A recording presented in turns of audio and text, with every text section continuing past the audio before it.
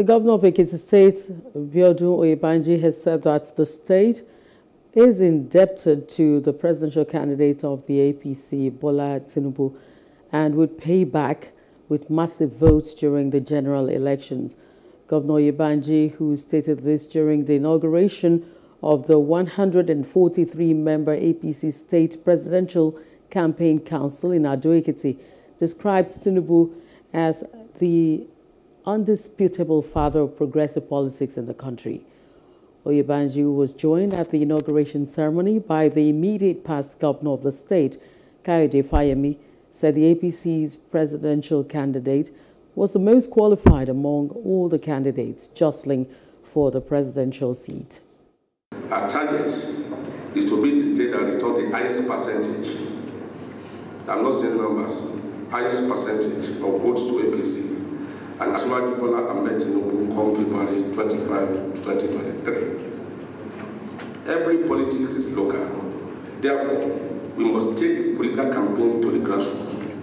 Even though the committee being inaugurated today is named Presidential Campaign Committee, our mandate extends to all levels of elections, from presidential to House of Assembly elections.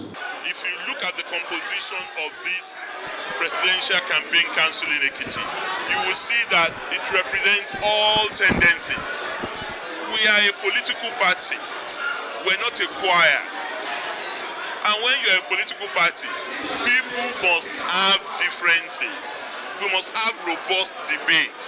We must have disagreements towards a holistic victory.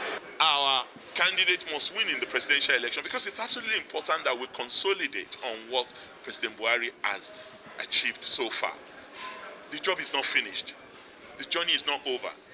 And our party is the best vehicle to ensure that all our aspirations are delivered. I've always often say this, that uh, when it comes to votes, or when it comes to democracy, the determinant factor should be arrowed on the women because we have um, a great number of women.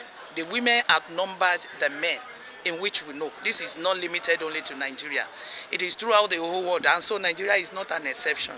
Hello, hope you enjoyed the news. Please do subscribe to our YouTube channel and don't forget to hit the notification button so you get notified about fresh news updates.